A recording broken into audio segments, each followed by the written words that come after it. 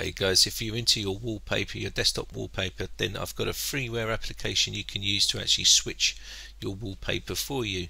Now, I know these have been around for a, for a while now, like Webshots and stuff like that, but they were a bit of a pain. You used to have uh, adverts and stuff like that. You don't get none of that with this program. You can get it from this uh, website here. I will put the link up in my description. Um, but it's called John's Background Switcher, uh, version 4.1.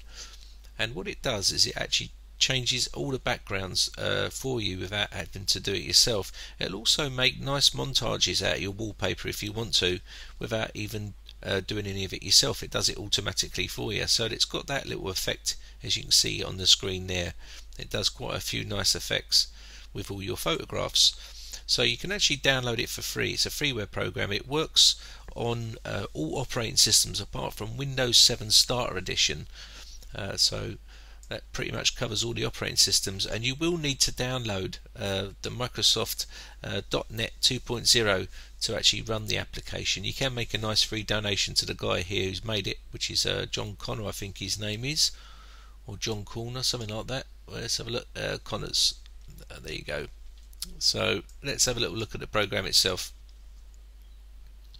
This is a program. If I click on this button here this little round circle, basically what it will do is it will change it manually itself. Um, if I wanted to force a change, it will change like so. If I wanted to, it would automatically do it for you. You don't have to click on that to change it. It does it automatically. But if you come in here, you can see, right click on it, and you can actually see a load of nice, uh, easy, uh, usable uh, user interface here you can actually use.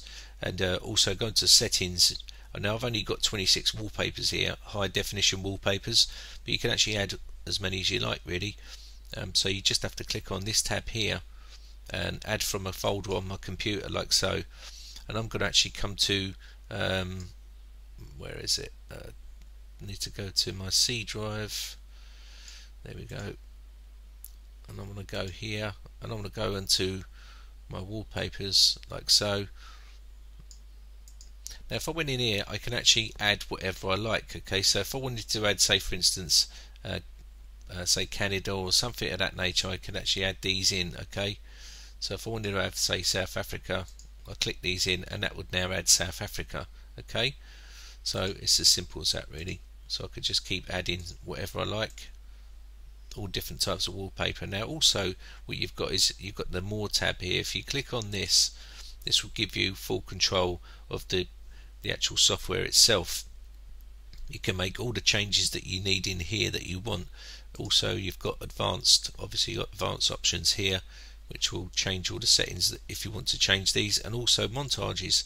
You can actually set this up to exactly how you want it if you want to have montages at your wallpaper. Okay? Now let's have a little look at some of the other stuff here. You've got picture handling uh, picture sources uh, pretty much you can play around a bit when you get hold of it yourself I'm not going to go right away through everything but um, it pretty much does what it says on the bin. You install it, put your pictures in there, and they automatically change. Okay, so that's uh, click OK for that. And I'm just going to click on on this, and what will happen is it will just automatically change like so. Okay, so I hope you've enjoyed this uh, video. My name is Brian from britec.co.uk. I will put the link up on, on my description for the download for that program. Uh, if you haven't if you haven't registered on my forum yet, you can actually come over to this web address here and actually register on my forum for free and put your questions in here because it's going to be much easier for me to answer your questions on this forum than it will be on YouTube because some people aren't getting their questions answered and I can't keep up with them. Okay so it's best to post it in here anyway so thanks for subscribing to my channel. I've got nearly a thousand people now that actually subscribe so thanks to everyone who subscribed and uh, keep your subscriptions coming. So uh, bye for now